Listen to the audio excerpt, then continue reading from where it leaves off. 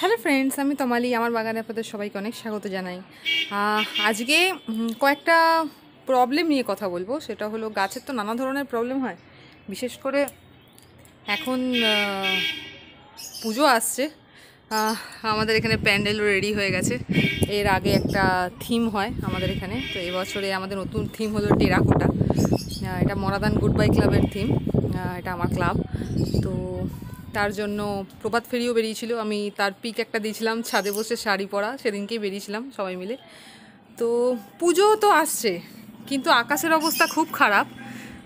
তো সবারই একটাই প্রবলেম যে পুজোর সময় এবছরে প্রচুর বৃষ্টি হবে।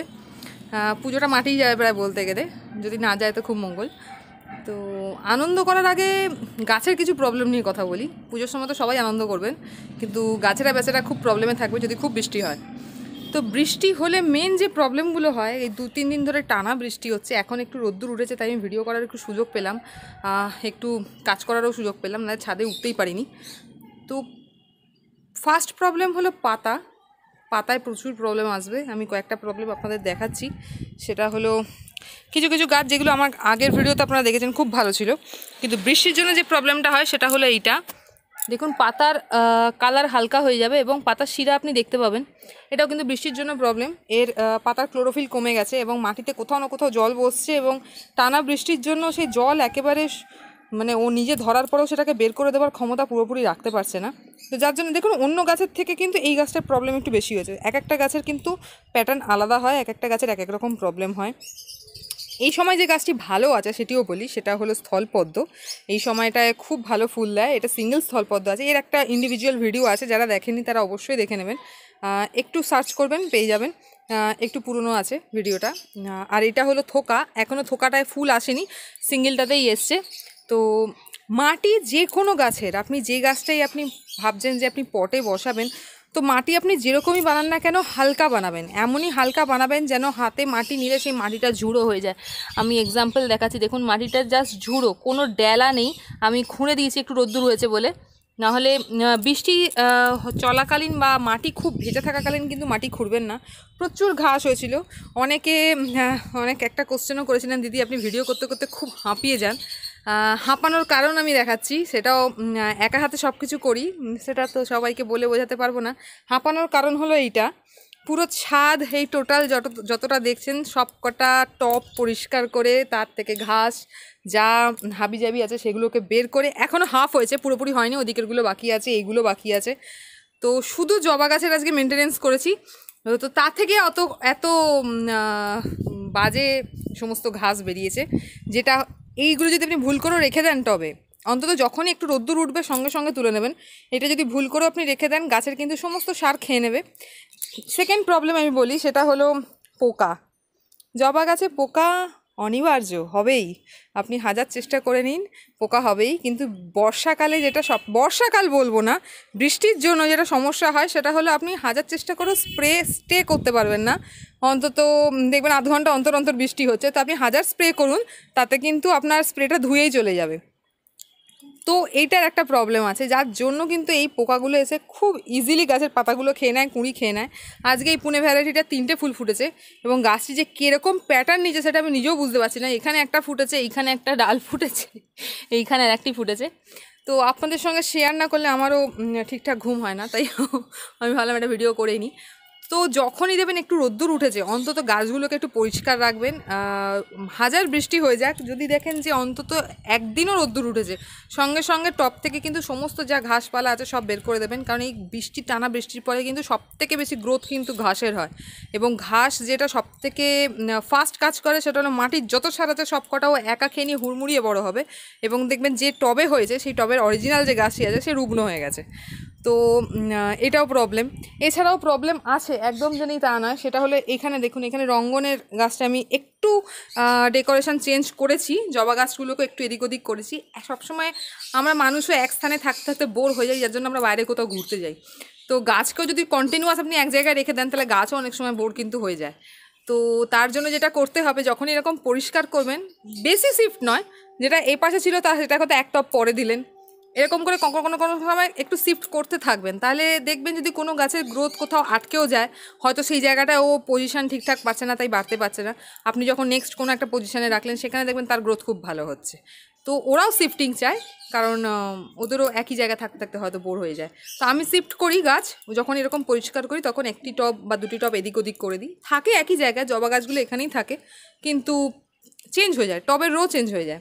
তো এখানে যেটা রঙ্গনের যেটা দেখাই, সেটা হলো এই প্রবলেম পাতা কুচকে যাওয়া। এটাও কিন্তু এক প্রকার ফাঙ্গাল প্রবলেম হতে পারে বা পোকার জন্য এই প্রবলেম হতে পারে বা মাটিতে জল বসার কারণে প্রবলেম হতে পারে। অনেকেই অনেক রকম প্রবলেম শেয়ার করেন টেক্সট করেন, কিন্তু একটা সত্যি কথা বলছি, গাছের এই একটা প্রবলেম বিভিন্ন কারণে হতে পারে, কিন্তু আপনার কোন কারণে হয়েছে সেটা কিন্তু আমি না দেখলে একদম বলতে পারব না।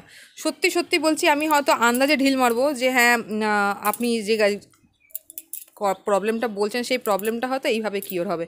কিন্তু হতেই পারে এটা আমার টবে জল বসার কারণে হয়েছে। বা হয়তো এই পাতার নিচে পোকা আছে, তার জন্য হয়েছে। এখন নেই, এটা আমার জল বসার কারণে হয়েছে সেটা আমি জানি। কারণ প্রচুর বৃষ্টি হচ্ছে, এটা হয়েছে। কিন্তু এই একই ধরনের প্রবলেম নানা কারণে হতে পারে এবং সেটা যে কোনো গাছে হতে পারে। তো এটা একটু দেখে না বললে না খুব প্রবলেম হয়ে যায়। তার মানে এই নয় যে আমি আপনাকে যে প্রবলেমটার যে সলভ সলিউশন যেটা বলছি সেটা ভুল। কারণ সেটাতেও ওটা হয়তো কিওর হবে। সেটা ভুল নয়। কিন্তু যদি ফাঙ্গাল প্রবলেমে হয়, তাহলে আমি আপনাকে ফাঞ্জিসাইড দিতে বলব। কিন্তু যদি পেস্টের প্রবলেমে হয়, তাহলে আমি আপনাকে পেস্টিসাইড দিতে বলব। তো এই জন্যে আমি আপনাদের বারবার বলি যে মেসেঞ্জারে লিঙ্ক করুন। আমার হোয়াটসঅ্যাপ নেই, সবাই হোয়াটসঅ্যাপ নাম্বার চান, আমি হোয়াটসঅ্যাপ করি না। মেসেঞ্জারে লিঙ্ক করুন। তমালি ব্যানার্জি নামে পার্সোনাল আমার মেসেঞ্জার আছে। আপনারা যে যে মেসেজ করবেন টেক্সট করবেন, আমি তার সঠিক উত্তর দেওয়ার যতটুকু জানি, আমি চেষ্টা করি, আমি কাউকে ইগনোর করি না। মেসেঞ্জারে যদি আপনারা একটা, দুটো হলেও আপনাকে যে গাছের প্রবলেম আছে, সেই গাছের ছবিটা যদি পাঠান, তাহলে আমার পক্ষ বলতে খুব সুবিধা হয়। যে গাছটি সত্যি সত্যি কি প্রবলেম হয়েছে আর সেটা কি করে একটু হলেও সলভ হবে। আমি টিচার নই আমি নিজে ঠেক খেয়ে খেয়ে শিখেছি। তো যেইটুকু শিখেছি সেইটুকু জাস্ট আপনাদের সাথে শেয়ার করতে চাই, আর কিচ্ছু না। হয়তো আমার থেকেও অনেক জ্ঞানী ব্যক্তিরা আছেন যারা এই সমস্ত সম্পর্কে অনেক বেশি ভালো জানেন। আমি তাদের থেকেও শেখার চেষ্টা করি এবং তারা যদি আমাকে এই আমার চ্যানেলের মধ্যেও আমাকে হেল্প করেন যে এর থেকে বেটার কি করে করা যাবে, তাহলে আমি অবশ্যই তাদেরকে ফলো করব এবং যেটা বলবেন সেটা আমি অবশ্যই করার চেষ্টা করব। কোনো আপত্তি নেই, কোনো সময় আপনাদেরও বলি, কোনো সময় নিজেদেরকে খুব ছোট মনে করবে না যে আমি জানি না। আমি সত্যি জানি না অর্ধেক কিছু, কিন্তু জানার চেষ্টা করি। যদি আমাকে কেউ আমার থেকে বড় যারা এইসব গাছ সম্বন্ধে যারা বোটানি নিয়ে পড়াশোনা করেছেন বা এগ্রিকালচার নিয়ে পড়াশোনা করেছেন, তারা যদি আমাকে হেল্প করেন, তাহলে আমার কাছে অনেক এটা সৌভাগ্য হবে। এর থেকে বেশি কিছু নয়। সত্যি সত্যি সমস্ত কিছু একই জীবনে শিখে ওঠা সম্ভব হয় না। একটা শেখার পর অনেক কিছু বাকি হয়ে যায়। তো যেইটুকু শিখেছি, সেইটুকু বললাম। প্রবলেম তো নানা গাছের নানা প্রবলেম হয়। যেমন শিউলি গাছের প্রবলেম হয়, জল বসলে যেটা হলো এরকম পাতা বার্ন আউট হবে। প্রচুর কুড়ি এসছে। সকালবেলার দিকে তো আমি ফুল দেখাতে পারব না, তবে আমি এর ফুলের সাইজ দেখাতে পারি। দু চারটে পড়েছিল নিচে, আমি তো তুলে রেখেছিলাম। তো রাত্রিবেলা ছাড়া শিউলি গাছের আমি ফুল দেখাতে পারব না। রাত্রিবেলার দিকে আমি খুব একটা ভিডিও করতে আসতে পারি না। তো এইটাও একটা প্রবলেম এছাড়াও প্রবলেম হয় যে পাতার ফাঙ্গাল প্রবলেম পাতার মধ্যে হলুদ ছোপ ছোপ আসে। তো বৃষ্টির জন্য এই কয়েকটা প্রবলেম তো হবেই। আর কোনো সময় দেখবেন পাতা হলুদ হয়ে ঝরে যাচ্ছে বা পাতার কালার হালকা সবুজ হয়ে যাচ্ছে, হয়ে গিয়ে ঝরে যাচ্ছে। এই যেমন এই পয়েন্সেটিয়ার পাতারও, পয়েন্সেটিয়ার প্রবলেমও আছে। পয়েন্সেটিয়া বেশি জল পেলে এরকম পাতা শুকিয়ে যায়। তো মাটি যতক্ষণ না শুকাচ্ছে না ও আবার নর্মাল ফর্মে আসবে না পাতা এরকম হালকা হালকা খুলে যাবে। তো এইগুলো হলো প্রবলেম যেটা আসছে পুজোতে হয়তো আমরা সবাই ফেস করব। যারা যারা গাছ ভালোবাসেন, যাদের বাগান খুব পছন্দ, তারা সবাই হয়তো এই বৃষ্টির জন্য খুব প্রবলেমে পড়ব এবং প্রত্যেকটি গাছই হয়তো খুব প্রবলেমে থাকবে। কিন্তু আমি এখনও বলছি, যাদের যাদের মাটি খুব টাইট তারা পারলে মাটি হালকা করুন। যত হালকা করবেন, তত বৃষ্টির জল বসবে কম, গাছের ক্ষতিও একটু কম হবে। একদম যে হয় না বলব না, মিথ্যে কথা বলে কোনো লাভ নেই। হাজার আপনি মাটি হালকা করুন, কোথাও না কোথাও গিয়ে মাটি যদি একটু ব্লক হয়ে যায় তো সেখান থেকে জল বসতে শুরু করে। তো যেখানে হোলটা আছে, সেই হোলটা সবসময় খেয়াল রাখবেন, সেই হোলটা যেন কোনো সময় ব্লক না হয়। যদি দেখেন যে মাটিতে জল বসছে, অথচ আপনার মাটি হালকাই আপনি বানিয়েছেন, তাহলে অবশ্যই চেক করবেন যে আপনার যে হোলটি আছে, সেই হোলটি কিন্তু কোনো কোনো সময় ব্লক হয়ে গেছে। কিছু না কিছু কারণে তো ব্লক হয়েছেই, যার জন্য সেখান থেকে জল বেরোতে পারছে না। বা আপনার টবে যে ময়েশ্চার ধরার যে ক্ষমতা ছিল, সেটা নষ্ট হয়ে গেছে। কারণ মাটির টবে একটা সুবিধা যেটা হলো, সেটা হলো ও নিজেও জল টানে। যেটা প্লাস্টিকের টবে সম্ভব হয় না। ওই জন্য আমি প্লাস্টিকের সম্ভবে, সবসময় বলি যে বালির ভাগ বেশি দেবেন, মাটির ভাগ কম দেবেন। কারণ বালির ভাগ যত বেশি দেবেন, তত জল কম বসবে ওতে। আর মাটির ভাগ যত বেশি দেবেন, প্লাস্টিকের টবে, যেরকম এগুলো প্লাস্টিকের টবে আছে, তো তাতে কিন্তু প্লাস্টিকের টব কিন্তু জল টানতে পারে না। তো এছাড়া যখনই দেখবেন সুযোগ পেয়েছেন, এরকম রোদ্দুর উঠেছে, তো অবশ্যই এপসাম সল্ট দিনের বেলা স্প্রে করে দেবেন। রাত্রিবেলা যদি বৃষ্টি না আসে, তো অবশ্যই পেস্টিসাইড স্প্রে করে দেবেন। ভুল করেও ভুলবেন না, কারণ এই সুযোগ আবার হয়তো পরের দিন থেকে আবার বৃষ্টি হয়ে যেতে, শুরু হয়ে যেতে পারে। এখন তো মনে হচ্ছে দুর্গাপুজো বর্ষাকালেই হয়, শরৎকাল তো কোনো দিকে মনে হচ্ছে না। তো এই কয়েকটা ছোটো ছোটো জাস্ট কেয়ার আর কিচ্ছু না, এগুলো ছোটো কয়েকটা টিপস বললাম, কয়েকটা প্রবলেম বললাম। হ্যাঁ আর একটা প্রবলেম যেটা আছে, সেটা হলো চন্দ্রমল্লিকার অনেক প্রবলেম অনেকে বলেছেন। এই চন্দ্রমল্লিকাগুলো খুব ভালো আছে, কিন্তু এখানে কয়েকটি চন্দ্রমল্লিকা আছে যেটা সবার প্রবলেম সেটা হলো এরকম পাতা ব্রাউন হয়ে যাচ্ছে। এটাও জল বসার কারণেই হয়। একদম এটা ফাঙ্গাল প্রবলেম আর কিচ্ছু প্রবলেম নয়। তো যাদের গাছে এরকম হয়েছেন তো যে বাজে পাতাগুলো আছে, সেগুলো ছিঁড়ে ফেলে দিন এবং গাছকে ফাঞ্জিসাইড দিয়ে স্প্রে করুন। আর উইকলি একবার এক গ্রাম ফাঞ্জিসাইড এক লিটারে গুলবেন আর যদি ছোট পট হয়, তাহলে এক কাপ দেবেন। বড় পট হলে একটু বড় কাপের এক কাপ দেবেন। মাটিতে জল দেবেন। এবং সেটাও কিন্তু বৃষ্টি না হওয়াকালীন। বৃষ্টি হওয়াকালীন কিন্তু এসব কিছু ট্রিটমেন্ট করা যায় না। তো এছাড়া আর কিছু বলার নেই। যদি আপনাদের কোনো কোশ্চেন থাকে, কোনো প্রবলেম থাকে, তো অবশ্যই আমাকে নিচে কমেন্টসও করতে পারেন বা মেসেঞ্জারে কমেন্টস করুন। আপনারা যেখানে কমেন্টস করবেন, আমি তার সঠিক উত্তর দেওয়ার চেষ্টা করব। আর ভালো লাগলে অবশ্যই লাইক করুন। খারাপ লাগলে কি খারাপ লেগেছে সেটাও আপনারা বলতে পারেন, তাতেও আমার কোনো আপত্তি নেই। অনেকেই অনেক রকম কমেন্টস তো করেন, তো তাদের জন্যও বলি।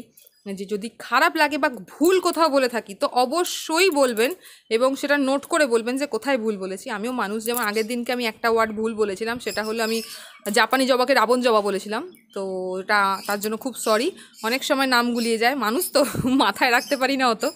তো ওটা জাপানি জবা ছিল, যে রানী কালারের বড় জবা ছিল, ওটা রাবণ জবা ছিল না, রাবণ জবা হলুদ হয়। তো সেই ভুলটা আমি আজকে এই ভিডিওতে স্বীকার করে নিলাম। হয়েই থাকে, কিছু করার নেই, তার জন্য ক্ষমা করে দেবেন। আর যদি অন্য কোথাও ভুল বলে থাকি, তো অবশ্যই নিচে কমেন্টস করে লিখুন, আমি সেখানেও আপনাদের উত্তর দেওয়ার চেষ্টা করব। আর যদি ভুল হয়েও থাকে, তাহলে সেটা সংশোধন যদি করে দিতে পারেন, তাহলে আমিও নতুন করে শিখতে পারি। আমার শেখা এখন অনেক বাকি। এখনও শেখা সবে শুরু হয়েছে, শেখার এখনও শেষ নেই। তো আপনারা যদি আমাকে হেল্প করেন, তাহলে আমার কাছেও খুব সুবিধা হবে। আর আমার সৌভাগ্য হবে যদি আপনারা কেউ আমাকে হেল্প করেন। তো আজকে এইটুকুই। আগামীকাল আবার দেখাবে অন্য কোনো গাছের ভিডিও নিয়ে। আপনারা সবাই ভালো থাকবেন এবং পুজো খুব ভালো করে কাটান, খুব আনন্দ করে কাটান। কতটা করতে পারবেন আমি জানি না, কারণ এই বছরে তো বলছে টানা বৃষ্টি হবে। কিন্তু বৃষ্টিতে বৃষ্টি হলেও, পুজো তো পুজো। একদম বাইরে বেরোতে ছাড়বেন না, বৃষ্টিতে হলেও একেবারে ছাতা মাথায় করে বেরোবেন এবং খুব আনন্দ করুন। আর সবাই ভালো থাকুন এবং সুস্থ থাকুন। আর গাছগুলোকেও পারলে একটু সুস্থ রাখুন। আপনারা যারা গাছ ভালোবাসেন, তাদের জন্য স্পেশালি বললাম।